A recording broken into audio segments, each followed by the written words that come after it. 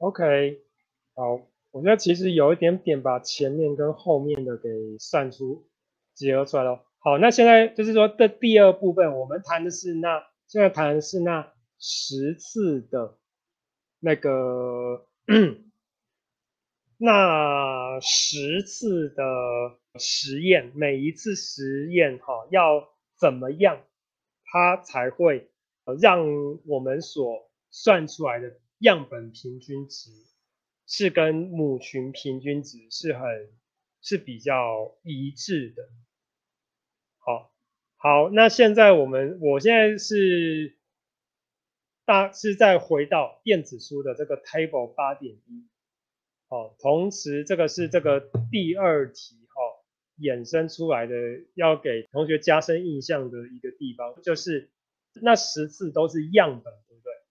好，你们觉得它是要用哪一个符号？因为那个母群平均值已经这个已经用掉了。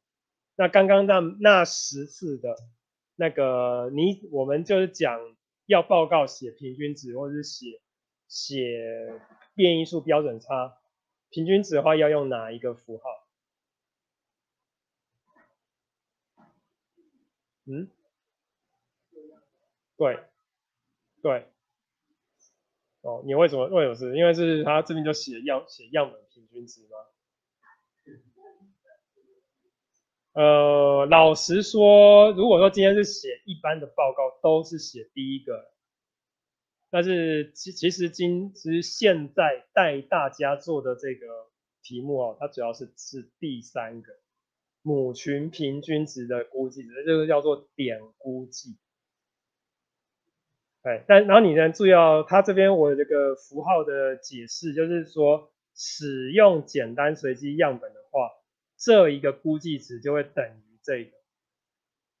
哦，这两个是不一样，这个是这个是只要是这个是指的是，你只要是样本资料，不管你是随机还是不是随机的，算出来的平均值都可以用这个式。好，所以你可以，你你们可以，你我是建比较建议，比较建议说，你可以在你们可以在这个呃卷毛比的这个地方，好，现在它这里所算出的呢，现在它你们你们在这里所算出来的，哎，等一下，好，它这个叫做，他们都他们是分别叫做。呃，就是母群样本的，就是母群期望值的估计值。第一个，哦，是这样，因为它是有，你们也看到它是有加一个帽子，对不对？那那个加帽子的话是要这样子写，呃，叫做 hat，然后，哎，然后，然后，然后。我要我要试一下，因为这个是我第一次看到哦，对，没错，哦，这样子，就是写写法就是这样，那前面那个 mu 哈，你用一个大括号先刮起来，然后大括号左边再加一个 hat，就是帽子，好，等于一百。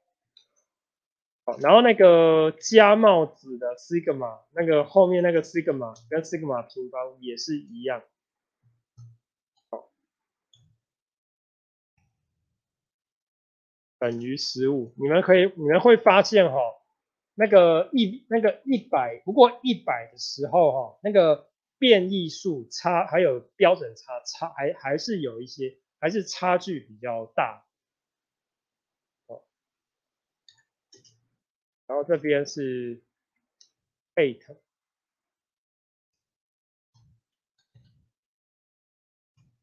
这个吗？等于二二二二五。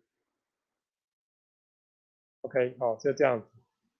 我可以加深，然后你后后面可以再再加，因为是随机样本，所以一般报告中的那个什么，一般报告写这个平均值是写这个 x 八。哦，这个前面上面这个一个一一条线，这个叫做 bar，在英文里面的哦，因为是他们是英文的统计学家先命名的，所以它都都是叫做 bar。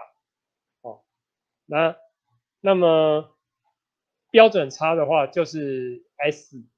好，然后这个是小写 s 哦，因为因为因为只是因为那个排，因为我这是用图片呐，所以才会变，才会看起来比较像大写这样。啊，实际上都是小都是小写哦，就样本的标准差跟变异数都是哎都是 s，小写 s 跟 s 平方。OK，好，再来我又要那个要用那个全荧幕的画面来做比较。OK。好，这样子，好，目前还可以哈。哦，就是因为只是顺便要解解解释一些符号，哎，解。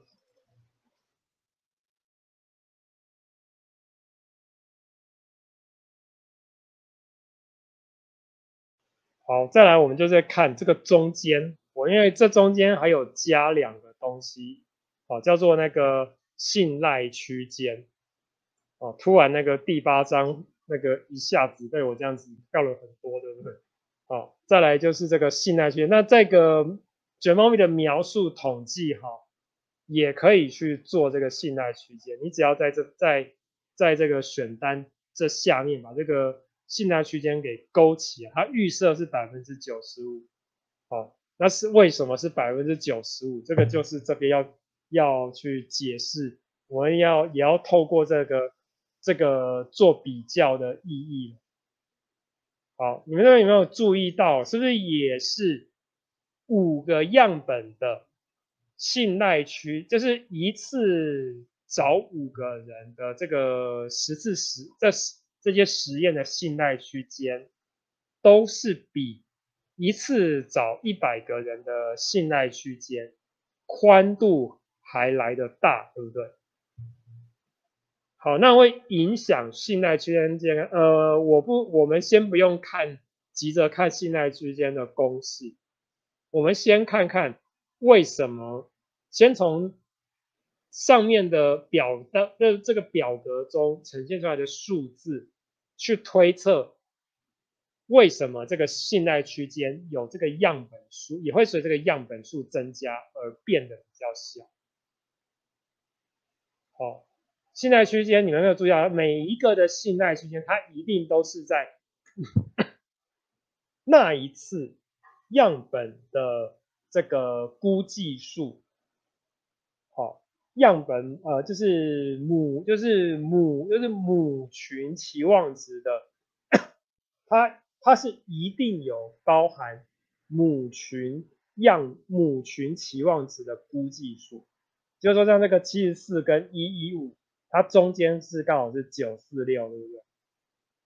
然后这个八九八十九点三一百二十中间是一百零四啊，我们就拿这个比较好容比较容比较容易看，这个一百零四跟一百二是不是差大约十差大约十六？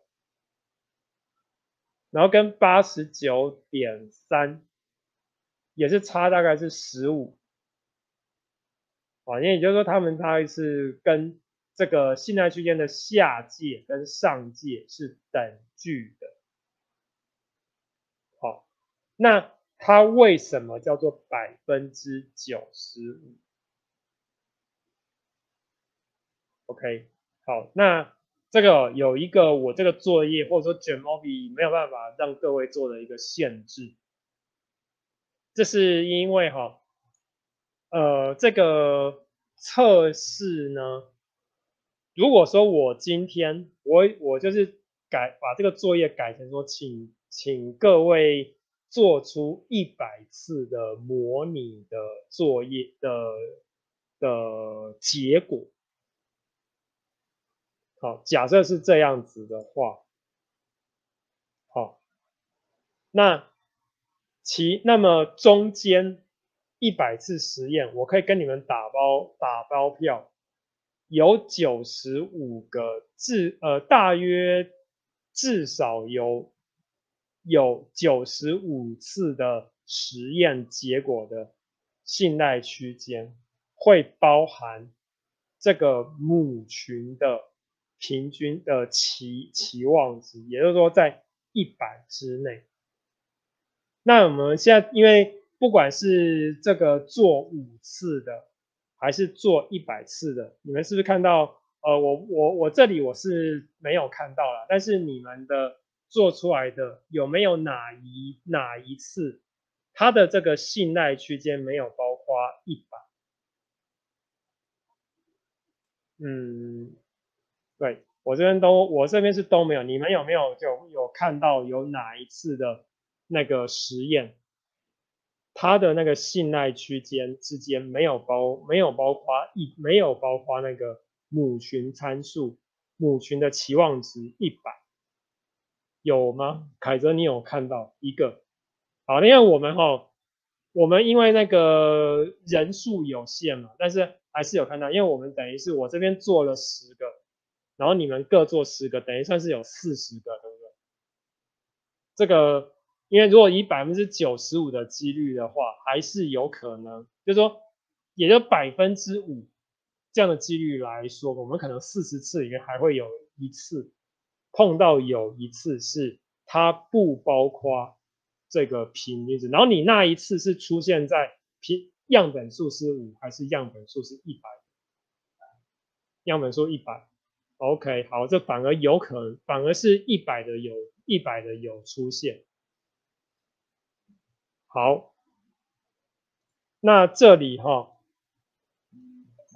可以给大家，我们我们我们就是把这两题做一个综合，哦，二三题的这里从同时我可以拿这个来说明，然后说大数法则，好，就是呃，首先那个呃，第二这个刚刚前面讲这个叫做点估计。好，点估计就是说你的那个每一次的这个随机样本，只要是呃它的那个点估计的精确度是取决于你的样本数，样本数越大，你你估你的点估计就会越精确。那这个区间估计指的是。你的你采取那个随机样本，你反复做几次实验，根据你的那个随机的设定，如果你设定是百分之九十五次的话，你这样子做一百次实验，大概最少有有有有九十五次，你。你得到的这个区间值会包含母包含这个母群的期望值。那同那么同样样本数所决定的是区间的大小，所以你样本数越大，区间就越小。哦，那你区间越区间越小，你就越容易观察到。那个会有其中几次，就是它没有包括到母群的期望值。